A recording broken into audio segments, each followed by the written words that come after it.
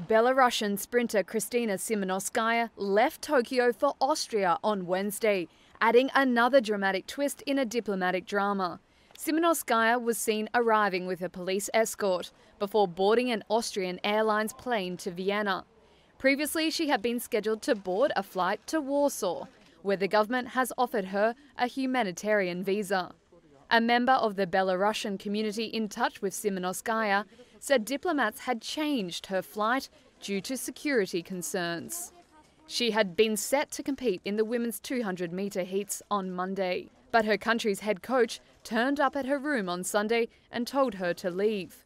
Tsimanouskaya refused to board a flight home and sought refuge at the Polish embassy.